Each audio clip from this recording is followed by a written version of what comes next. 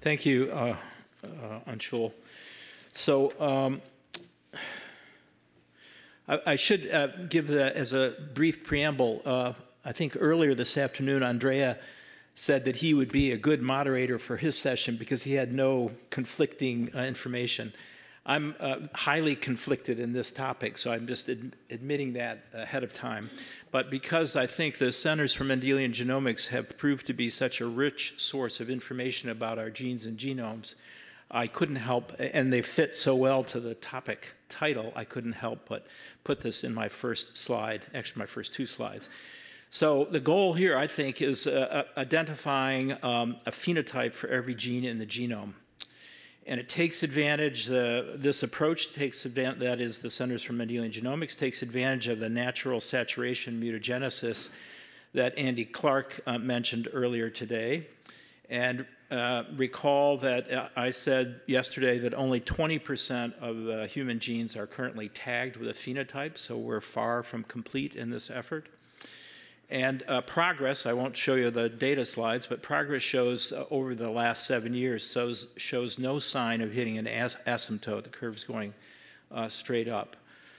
Uh, moreover, this project harvests information, which we've heard about uh, in previous comments, in allelic series. So this is not all human uh, null alleles, but a rich source of different kinds of human alleles. And uh, the results inform clinical practice and basic research very quickly. Um, and the CMGs have built a collection of tools and made them freely available to the genetics community. So in a way, this is a force multiplier for other people who do not have CMG funding, but use these tools to promote their own efforts to find uh, uh, Mendelian disease genes. Now, there are areas, lots of areas to improve, and some of them I've listed here. Uh, if we want to find a phenotype for every gene in the genome, we have to sample the population across the world, I would argue. And that means uh, a robust sub subject recruitment and increasingly online resources and tools to do this. Perhaps there are others. Uh, variant discovery, we, all the CMGs have analyzed families that look flat out Mendelian and are not able to find the answer. So the question is, what are we missing? Is this somewhere else in the genome? Is it a kind of variation that we're just overlooking? Recall that we didn't pay much attention to copy number variants until 2004, a big source of variation.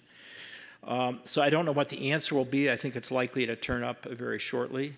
Um, uh, and then an, an, another challenge is variant interpretation, and for this we need additional tools of the type we've heard about from many uh, at this podium, expanded access to reference data, human data, and model organism data.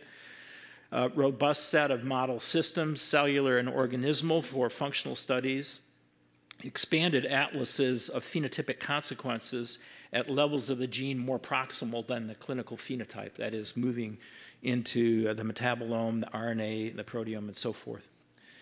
So those are all things that would, uh, uh, goals that would uh, accentuate the progress of the CMGs, I believe.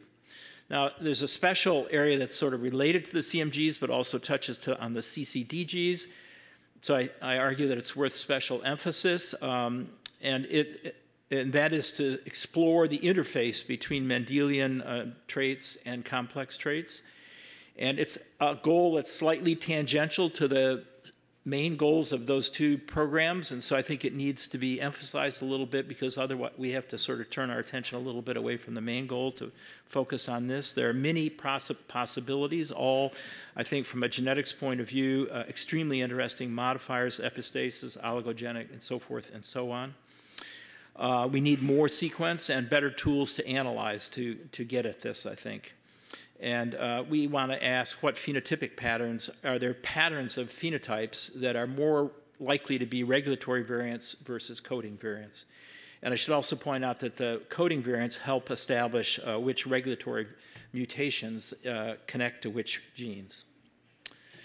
Now, the last uh, uh, aim, I think, or idea we should think about is a simple question why does evolution care about this gene?